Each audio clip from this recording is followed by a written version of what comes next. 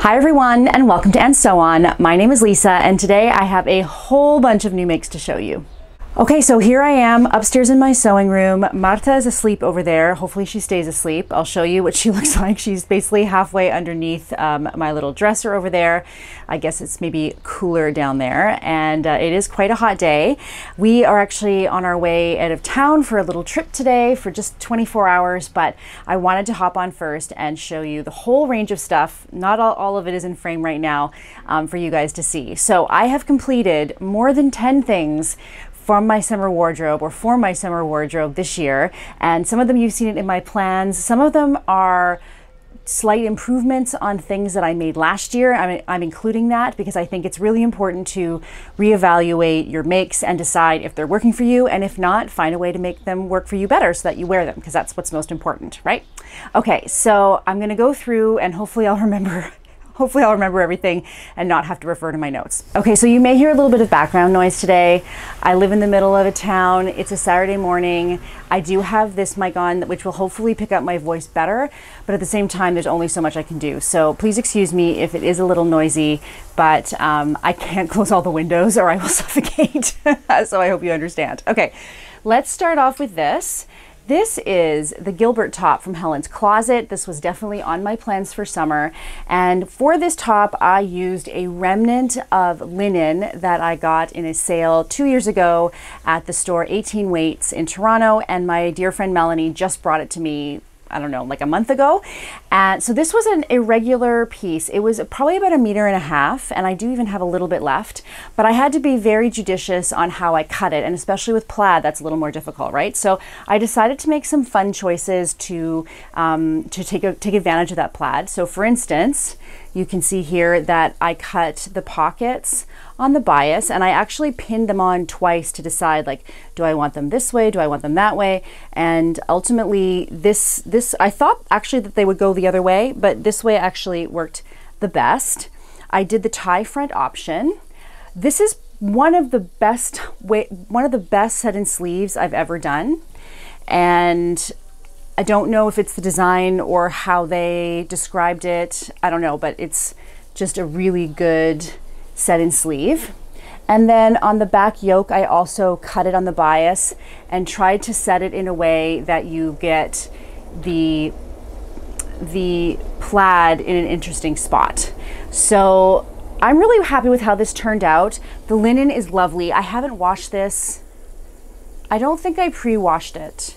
And the reason why I didn't pre-wash it is because um, I don't really use a dryer here, and so I didn't really have to worry about shrinkage. So I don't think that I pre-washed it, although I'm, I'm kind of doubting myself on that now.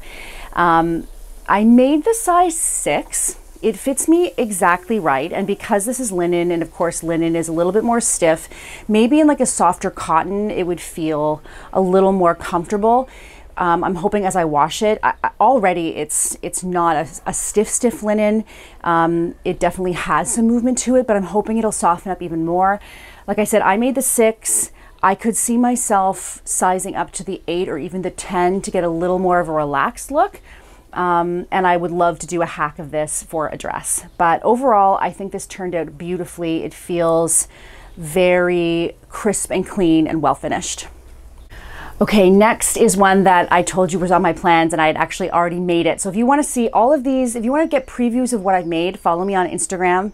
My handle is just at Lisa Kisch because I always put my, my, um, my makes on Instagram first because I, I generally wear them and just kind of pop them up there. And actually all the pictures you're going to see today are from Instagram um, because like I said, it's, it's a bit of a crazy time and setting up just to record for pictures is pretty difficult. But when I wear my makes, which I do all the time, I just get my husband to snap a couple pictures. Okay, so this is the Zoey tank from True Bias. I just realized that I haven't actually finished the hem, even though I've worn it a bunch. Um, I haven't washed it yet. It does need a wash, so I'll, I'll finish the hem before I do that. This is in a beautiful, beautiful rib jersey from Meter Meter. It might be the Meet Milk brand because I think they are Meet Milk as well. Um, this is so soft and gorgeous. The instructions on this pattern are amazing. I I absolutely love it. You can see just how nice and clean everything is. They have a step-by-step video tutorial. Um, I did something a little different in that I wanted to make a built-in bra. I'll put in a picture of how I just put the tank pattern back on top of another section. And let me turn it inside out to show you. Okay, so I just have this part that does not go all the way to the top because I don't want to add bulk into this seam where I'm binding. So, and because it's knit, I could have finished these edges, I didn't. Same thing on the back, they don't go all the way up. And then I just put a little bit of elastic and finish the sides. Now, for this version, I I didn't do it to the best degree in that I just included the elastic with this in the seams. So I've just included this as like a second layer and I've included in the seams and it has a little bit of elastic. And so because of that, when you wear it, you can see a very small pull just here down the side to be totally honest, it does not bother me, but I'm going to do another version in black. I have the same fabric in black, and I'm going to do another version in black, and I'm going to do um, to do it more finished, where the bra portion is actually separate from the outer portion, so that you don't get that pull. Let's see if I can show you here. Yeah, you can see like there's just this little ridge here, right? It's it's not super visible, but it but it is there. So for my next version, there are two versions of how you can finish the binding. And what I did was I had already started finishing the binding before I read that, and that's what kept me from being able to do the built-in bra a little nicer. So this time I'm going to do the more labor intensive version of doing the binding, um, but I'm going to do it with the built-in bra in a more neat finish. I'm also going to do it, I think, at the cropped length, so for high-waisted things, mostly because I want to hold on to some of this fabric because um, I have some left over from this and I think if I have enough left over of the black, I can make um, a pair of underwear or a bra, which I'm going to show you in a little bit, and I think that would be amazing in this fabric. So I'm going to, I think I'm going to make the slightly shorter version, I think. I would also love to make uh, the dress version of this. So that will be coming up, not sure when. Okay, what's next? What's next? Uh, let's do this one. So you remember last year I made the, uh, what is this called again? It's called the Sydney. Okay, you remember that I made the Sydney dress by VikiSews last year with Elisa from Sloths and Orchids. If you remember in my review of last year's makes, this was one that I thought, you know what, I can really improve this and, and make it something that I wear more. Because the problem before is it had metal buttons, it was longer, it was very stiff, and I just didn't wear it because it felt too formal. Not even formal, because formal I could wear in a certain situation. It was too buttoned up, too dressed up for me to wear in regular everyday life. And so what I've done is I've switched out the buttons for plain white. I've taken the hem up about um, probably about four inches or five inches. I've kept the self belt on the back that I'm using to sort of pull in the waist a little bit and I haven't softened it yet, but I will. I'll, I'll, I'll like soak it in Coca-Cola or whatever you do to soften it just a bit more. This is a really beautiful linen from um, Michelle of Simone's Rose, and um, I really wanted to use this really well, and it was really important to me that I actually wear it. So I've worn it in the pictures as a, as a duster, like I just wore it open, actually over the Zoey tank, and that was really cute. I don't often do that, but I wore it like with jeans it was a slightly cooler day in May, and that was really great. But I could see this, see wearing this both as like a duster, but also just as a straight dress. And I could also see wearing it with like a brown braided belt or something like that to break up the blue. But um, this is a definite, definite improvement. Okay, next we have the Enmore top from Liesl and Co. I also said that I was making this. So this was made from a beautiful um, textured cotton that I got during COVID at the Patchwork Festival. So like last year when things started to open up a bit and they had the famous Patchwork Festival in Sitges. It's like a very big deal. And I got this. I You can see I did a hand loop for the uh, button and I used one of the metal buttons that I took off this dress. So this pattern has a built-in bra the built-in bra in woven and some of you had said to me that you had to size up a couple in the bra and I agree. I, I, have to say, I haven't been wearing this much because I find the bra really flattens me and is very uncomfortable against my skin. So part of that probably is the fabric because it's it's a bit of a not rough, but it's certainly not a soft, soft fabric. So it could be partially that, and I think it's partially too small. Um, I actually even opened up the side seams afterwards to try and give myself a little more space, and clearly I am not busty, so uh, it just it didn't work. So I think what I'm going to do is take out this bra and on the next one size up to because I'm going to do a dress. This was sort of my muslin version. So I think I'm going to do the dress with either a larger like size up the bra because the front part is fine. It's just the bra part or I might even still make it in a stretch fabric so that it fits me better now I she has a hack it's not a hack it's actually a version um, of doing it on the bias and creating this chevron pattern so I love it and I love the top itself. I just need to deal with the the inner bra part because right now it's not comfortable to wear, which sucks. Which sucks. Next are the Skye shorts from Peppermint Patterns. So I also told you guys I was going to wear these and or I was going to make these, pardon me, and I did not have enough fabric to make them out of the beautiful um, pattern fabric that I showed you. I did it again in this viscose batiste from Guthrie and Ghani. This was a one meter yeah, a one meter remnant that I got last year. And these are exactly what I wanted. So they're swingy, they look kind of more like a dress, flat front, elastic in the back. Now, a couple people said to me that they're very, very roomy and you might want to size down. So I did size down to the, the smallest size. I think I was the third size and I cut it right down to the smallest size because I wanted to make sure that they fit me well. Um, they have a really nice uh, front yoke here. There's the pockets are really pretty. I ended up lining these because when I tried them on after I made them, they were definitely see-through. I could tell because I could see the pockets through the pattern or through the through the fabric. Um, so I lined them with white batiste. I just used the pattern over again, um, made it shorter, and then just attached it uh, well, in the front I serged it, and in the back I just sewed it um, to the existing waistline.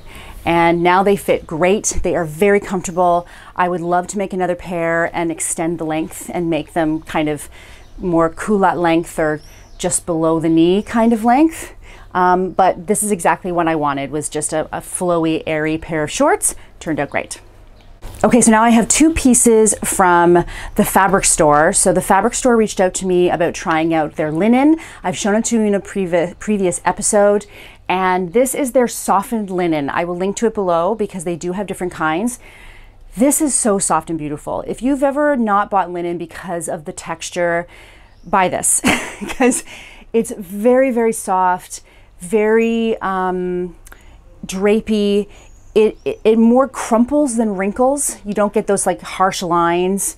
This is really gorgeous stuff. Now I've made, I worked hard to cut two pieces from this two meter, this two meter section. So basically they gave me, they gave me 20 euros to spend on the site plus free shipping. So I got 20 euros of fabric and free shipping. And I found in their remnant section a two meter section of this for 20, or maybe it was 22, but close enough.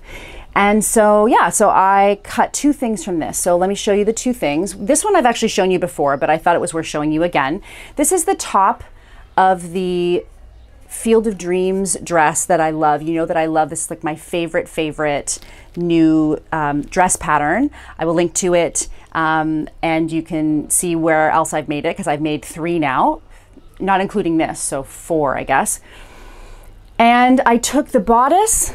Um, there is a there is a cropped version of this as a top, and there's uh, in, in like the official versions, and there's also a peplum. Now I, I don't mind a peplum, but I find as someone who doesn't have much of a waist, like my waist doesn't come in, adding more volume just at the waist makes me e look even more boxy so or or straight up and down. Do you know what i mean? I want something that accentuates my waist a little bit. So instead of doing that i just measured and cut a doubled band wide enough so that here goes the train, so that um, I could just go all the way around. And I also sized down a little bit because this is a very swingy top and I wanted to have a little, have it come in a little more. Now, because this has some room, I didn't have to put a closure on it. I didn't have to put a zipper. So it just sort of, you know, swings and this is fully lined. So you can see here that it is fully lined all the way around. The little straps are on the outside, um, on the inner part of the top, but they're enclosed in the front. And then normally with this, you just serge or sew either the dress portion or the peplum directly to the two layers.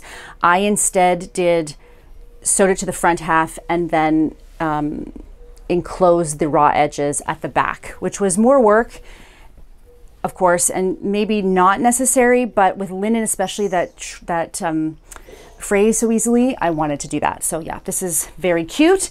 The only thing with this is I need to wear a strapless bra, um, unless I just don't want to wear a bra, and that's fine too. But I do want to get, I do want to do a bandeau bra to wear with some of these things.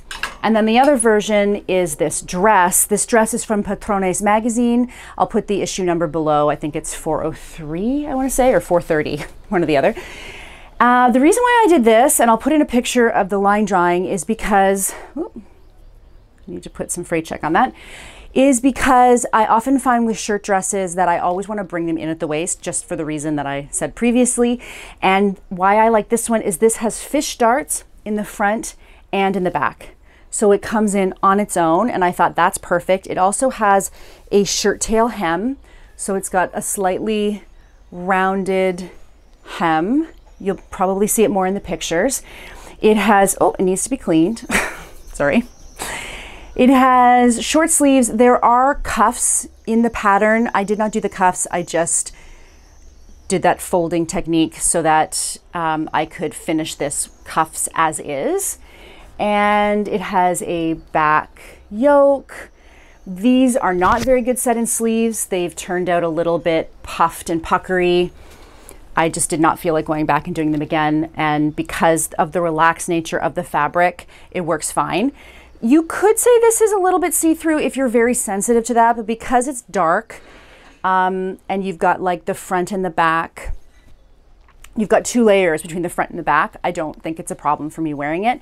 Um, because it's a little, I like to wear it a little bit open, it's a little short. Sometimes I do wear a pair of shorts underneath um, and then I can kind of wear it a little bit open. Very comfortable, so nice in the warm weather.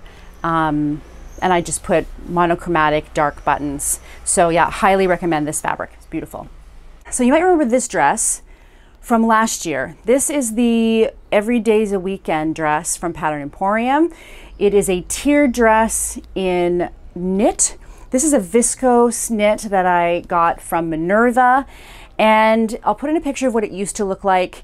And I just found with the viscose knit, it was too heavy with a third tier. I didn't wear it because it was weighing it down and also it was too hot to wear in the summer. So I literally just cut off that bottom tier and serged the edge. I was even wearing it when I serged the edge. I was literally like holding it up and just feeding it through. So it's not like the best and it has a bit of a high-low thing going on, which actually I don't mind. I wear it a lot more like this. It's just very comfortable, very soft, very swingy and breezy, which with the third tier it wasn't. But with that, what I ended up doing is I had that little bit of fabric, and so I made a little bra and panty set. So these are two free patterns. I've been wanting to get into bra making. Uh, so this is the first one. This is the Hyacinth bra from Ohhhlulu. It is a free pattern and I just used a scrap uh, from the tier that I cut off. And then the bra making supplies are from Studio Costura, which is a company in Madrid, but she is originally from Estonia. And so I believe her mother works the, the bra making supplies portion. And so I got this package from Estonia. So for this, all I used was I used the Picot edging for the top. I used the strapping that's made for bra straps. And then at the bottom, I used the band elastic and I cross the back because I don't have any racer back bras. So whenever I'm trying to wear something that's that's cut further in, I can't wear it or I have a hard I you know my bra keeps peeking out. So I wanted it to be racer back. This is the most comfortable thing. It is I, I keep forgetting that I'm wearing a bra, which is always the goal. this is not finished to the nth degree. it's more, it's almost a toile. Uh, but I will be making more. This is what I would love. Oh, I've got a thread. Of course, I have a thread. Um, I do have some of the of the rib jersey. Anything left over in viscose jersey from now on. I'm just going to make these little bras because they're so comfortable and they fit me so well. Um, she just has a an Instagram story. Is it an Instagram story? No, actually, no. It's a, this is a free pattern with instructions. So I followed the instructions. Not sure if there's a video instruction or not, but it's it's very straightforward. And then for the underwear, I made the free scrap, no, sporty scrap thong from Lore Piar, and it's a free pattern as well. This is a it's a obviously a, th a thong pattern. Uh, and because it is done in pieces, so like these pieces are separate, the back part is cut in two. You can see that I've done a decorative st stitch going down the back. And these are also elastic free. So if you are intimidated about using elastics for well, for underwear or for bikinis or whatever, this is elastic free, which is amazing. And I can definitely see just keeping this to the side and cutting these whenever I have space. I will probably make the, the, the thong part a little narrower for me. Um, but the size works and the, the, not having elastic really works. They're very comfortable. And this is the one where she has um, on her Instagram, Instagram stories showing you all the steps and showing you how to sew them. Um, for the for the legs, you literally just turn it in. Hang on a second you just turn it in and stitch it.